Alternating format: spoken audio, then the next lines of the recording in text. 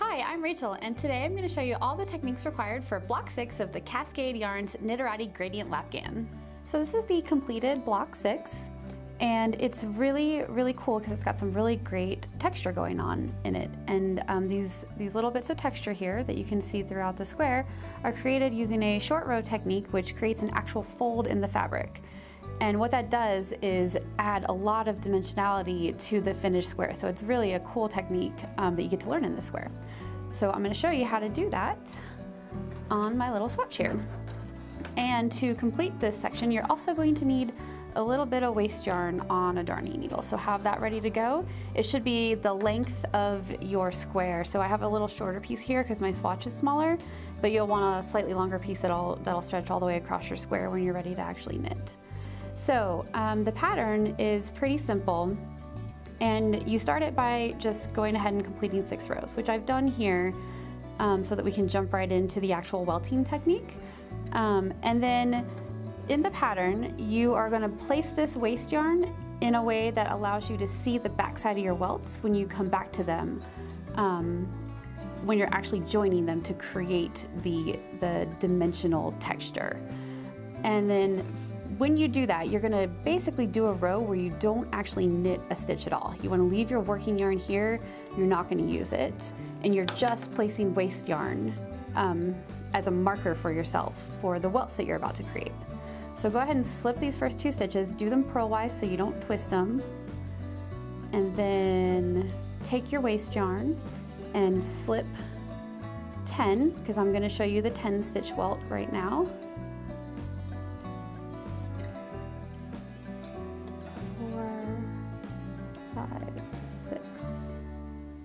Seven, eight,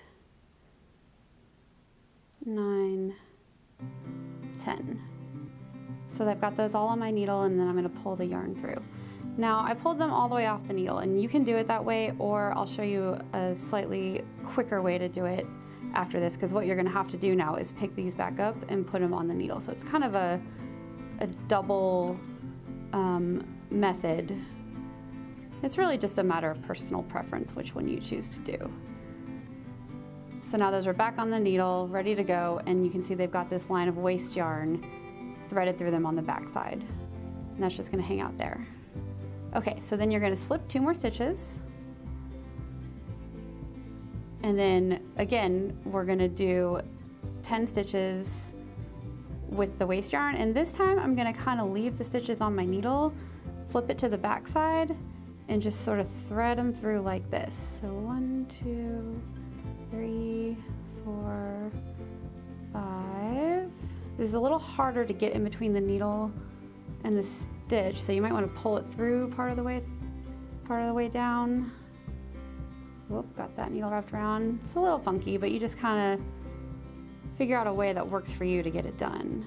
And then another one, two, three, four, and five. Okay, so pull that through. And now I am prepped to do 10 welts on this row. So since this was a non-working row, it was just a placement of waste yarn. I'm just gonna slip these stitches right back over onto my left-hand needle where they will be ready for me to work with. Just be very careful when you're slipping stitches that have waste yarn behind them, just to make sure you grab the leg of the stitch properly. Because that waste yarn is going to kind of want to get in your way. So if you get in between the, um, the actual working yarn and the needle, and just keep the waste yarn on the bottom, it should be okay.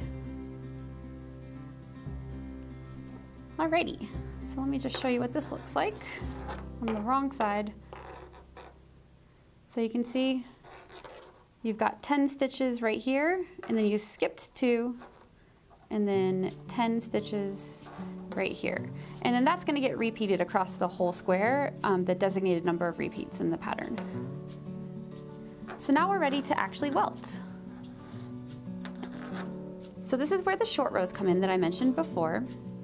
So this square has a lovely finished edge on it with slip stitches. So you're gonna start by slipping the yarn or slipping the stitch purlwise with the yarn in front and then pulling it to the back. And now you're ready to work. Knit one stitch. Now here's our first welt.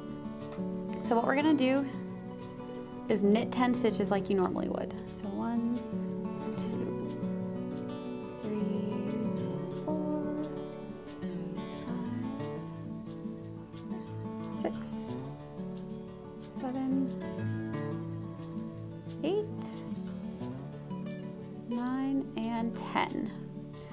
stop here and rather than moving on to the next stitch, you're actually gonna turn your work in the middle of it. That's what a short row is. It's where you turn your work before you actually get to the end of the row. And now we're going to purl back 10 stitches.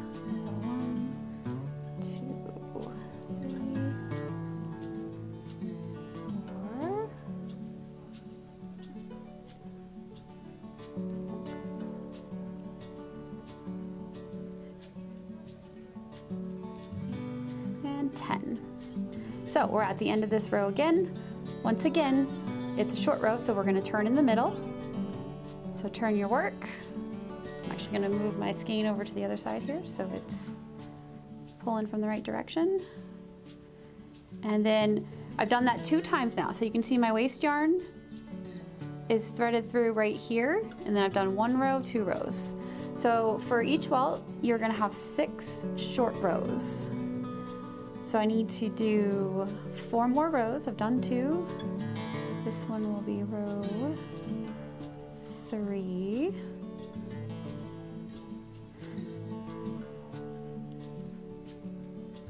And then turn your work again and purl back on the wrong side. You don't need to worry about the edges on this too much. Um, you don't need like a super neat edge or anything like that because it's going to get folded up into the into the welt. So it doesn't matter too much what it looks like. Turn the work again. And then we've got one more right side and one more wrong side to go.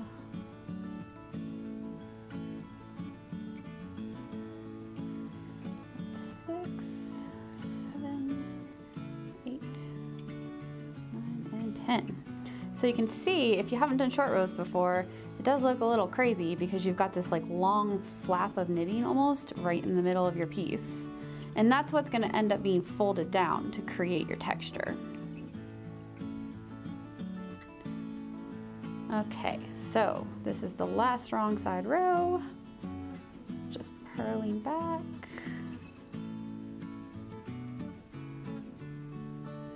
And then the next step while the most fun, is definitely the trickiest part of this um, welting technique.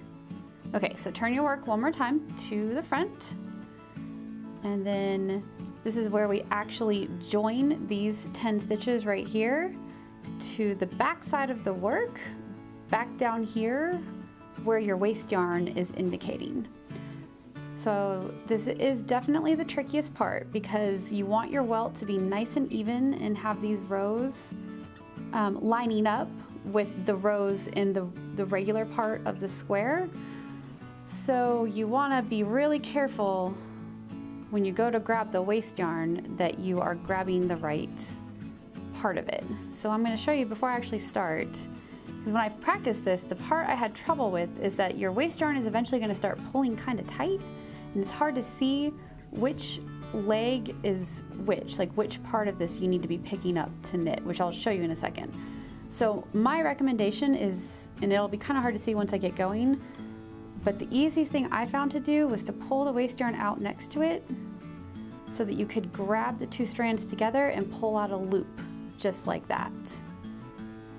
And that, that right there is gonna be the stitch that you connect the, um, the two stitches together with. So I'm going to let that go and kind of even out that tension again and get started doing the real thing. Okay, so fold your 10 working stitches over so that they're close to where your waste yarn is. Move your working yarn out of the way. Grab that first leg, just like I said. I said, I like to grab the waste yarn and then pull the leg out. And then once you do that, whoopsie, you can just get your hands around all those stitches and pieces of yarn and then grab that loop and put it up onto the needle. And then these two stitches right here, this is the one from down below and this is the one, the current working stitch. You're gonna not have your yarn wrapped around itself. there we go. Okay, you're gonna knit those two together and then pull that stitch right off. And then I've also found it's easiest to go ahead and pull the waste yarn out after you're done with the stitch so that it's not in your way anymore. So you're gonna continue doing that. And once you kind of get what you're looking at, you can just reach down and pick up the leg of the stitch that you need. So here's my next one. And then knit those two together. So now we've done two of them. Okay, pull that apart a little bit. Then see that next leg. You can see your waste yarn is crossing under that strand. So that's the guy to pick up. And then knit those two together. So we've got three of our 10 on the needles now. And then pull this out. So my stitches are starting to get tight, so I'm gonna grab the waste yarn this time to help pull that stitch out. So there's my loop. Grab it, pull the waste yarn out, knit it together. There's four.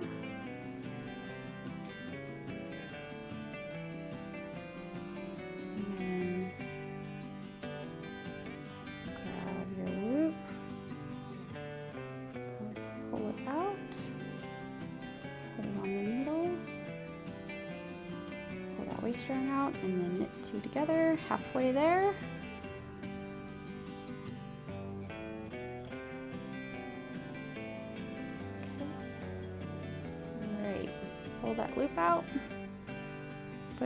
Needle. And you can see as I go, I'm just getting more and more comfortable with the rhythm. And you'll find that too after you do this a couple times, that you just gotta like settle into the into the motions that work well for the way you personally hold your yarn and hold your needles and all that kind of stuff. Okay, grab that loop, put it up on the needle, and pull out that waste yarn and knit it together. Three more to go, almost there.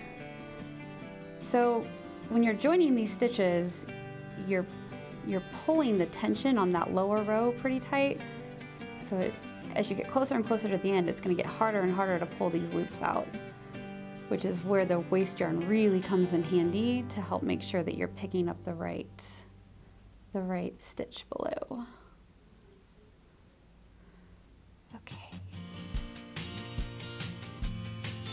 Two more. Almost there.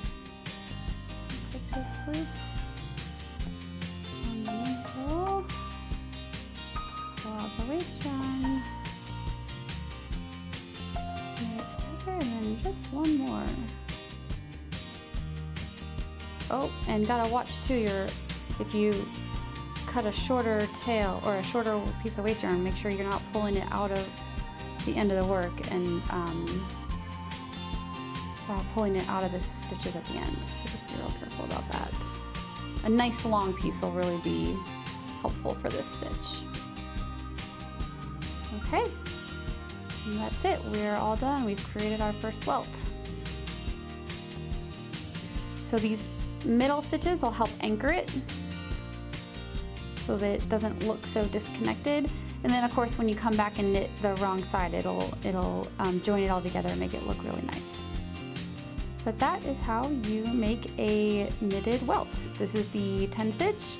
The six stitch is the exact same technique, except you only use six stitches instead of 10, but otherwise it is exactly the same. Thanks so much for knitting along with me. Make sure and check back in three weeks for the next block of the Lapghan, and also check out our YouTube channel for more videos and tutorials just like this one.